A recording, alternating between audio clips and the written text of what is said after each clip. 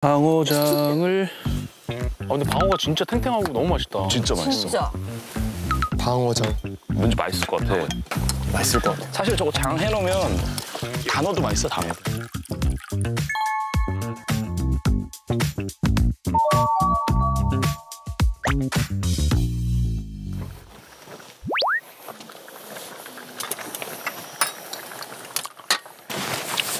뭐 하는 거예요?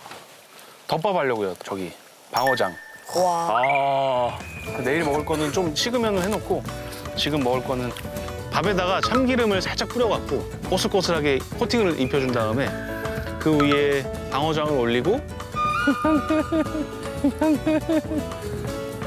야, 회 진짜 잘 쓰셨다. 거기에 레몬 하나 그리고 아보카도 이 지방이 싹 덮이면서 더 맛있거든. 마지막에 간장 위에 싹 뿌리면서 먹는 겁니다. 맛있겠다.